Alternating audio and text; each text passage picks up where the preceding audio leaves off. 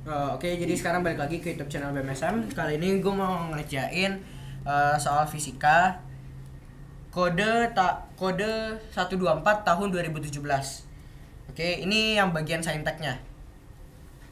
Jadi nanti bakal dibahas full lengkap uh, dari kode ini bakal dibahas dari nomor 1 sampai habis, oke? Jadi nanti kalian stay tune aja buat nonton dari awal sampai akhir. Nah, buat nomor 19 ini dia ini menggabungkan dua konsep. Konsep pertama itu elastisitas dan satu lagi adalah gaya. Di mana gayanya nanti harus kita translate, oke? Tapi ini kita langsung kerjain aja coba. Uh, dikasih tahu gini soalnya. Elevator pada sebuah bangunan dirancang agar dapat mengangkat beban dengan percepatan sekian. Ini maksudnya lift ya. Uh, percepatan sekian. Elevator tersebut menggunakan kawat dengan panjang 10 meter. Panjangnya 10 meter. Luas penampang uh, 4 kali 10 pangkat min 5. Ya kan? A sama dengan 4 kali 10 pangkat min 5 meter kuadrat. Nah, dan modulus yang adalah sekian. Untuk alasan keamanan, renggangan disyaratkan lebih kecil dari ini kan. Percepatan gravitasi 10 meter per second kuadrat. Beban maksimum udah termasuk masa elevator uh, yang masih aman diangkat. Nah, kita udah dapat ini, terus panjang kawatnya itu tadi 10 meter Lalu uh, renggangan, renggangan maksimum sama dengan 2 kali 10 pangkat min 4, ya kan? Terus udah kayak gitu kita dikasih tahu modulus siang atau kalau di uh, bimbel-bimbel lain ataupun guru kadang mengajarkan modulus siang itu dilambangkan E ataupun Y. Y kayak gini nih.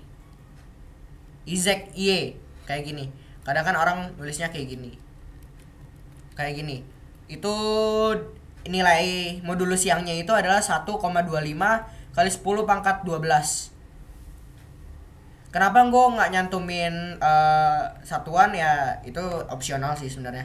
Kalau mau lo cantumin ya boleh. Kalau nggak ya udah. Yang penting kalian paham dengan konsep dasarnya oke? Okay? nah kita udah dapatkan kita udah dapatkan apa yang kita butuhkan. Oh ini A kecil percepatan itu 2,5 meter per second kuadrat okay. um, apakah ada lagi udah udah cukup jadi gini uh, rumus dari E, rumus dasarnya itu adalah uh, tegangan per renggangan. Buat kalian yang pengen tahu secara lengkap, silahkan kalian cek langsung di YouTube uh, di playlist kita yang ngebahas tentang uh, elastisitas. Oke, okay? playlistnya ada kalau nanti di di akhirnya. Oke. Okay? Nah lalu kita dikasih tahu kalau renggangan maksimumnya itu adalah 2 kali 10 pangkat min 4 maka nanti tegangannya sama dengan uh, E dikali renggangan modulus yang dikali renggangan nah tadi ini 1,25 kali 10 pangkat 12 kalau nggak salah sih. Dikali dengan 2 kali 10 pangkat min 4 benar gak ya? Uh, iya benar. Nah ini tinggal kita kurangin jadi 8 sama yang ini kan. Ini berarti udah hilang. Lalu ini dikali. Berarti hasilnya adalah 2,5 kali 10 pangkat 8 ini tegangannya nah tegangan sendiri itu rumusnya adalah F per A. Oke? Maka kita dapat nanti 2,5 kali 10 pangkat 8 sama dengan F per uh, luas penampangnya. Tadi gue lupa berapa. 4 kali 10 pangkat min 5 4 kali 10 pangkat min 5 ya kan? Maka nanti kita dapat uh, 100 sorry uh, 2,5 kali 10 pangkat 8 dikali dengan 4 kali 10 pangkat min 5 ini kita kurangkan nanti min 10 pangkat 3 lalu ini 2,5 kali 4 itu hasilnya adalah 10 kali 10 pangkat 3 ini kan? Sama dengan F ini adalah F nya gayanya. Nah sedangkan kita tahu sendiri uh, di mana F ini harus kita translate. Oke? Okay? gimana cara mentranslate gayanya? Jadi gini kita perlu uh, kalau kalian nggak paham kalian perlu bikin dulu gambarnya gini. Ini misalkan uh, lift oke? Okay? ini ini lift kan? Lalu di dalamnya itu ada uh, manusia nih. Ada orang. Secet Wih. ini ada orang ini ada tegangan tali dan dia bergerak ke atas ya kan? Nah di mana di sini sendiri ada gaya berat oke? Okay? nah gaya berat ini kita anggap totalnya udah jadi satu benda gitu loh. Di si liftnya ini dengan si orangnya ini. Berarti nanti kita udah dapet bentuknya bakal jadi kayak gini doang nih. Sama kayak benda biasa. Oke? Dia bergerak ke atas dan ini ke bawah. Dia ada beban. Maka nanti kita dapat rumus sigma f. Hmm. sigma f sama dengan m dikali a. Oke. Nanti kita dapat bahwa uh, f min w sama dengan m kali a. Di mana F sama dengan M kali A ditambah W. Nah, W sendiri itu adalah uh, gaya berat kan?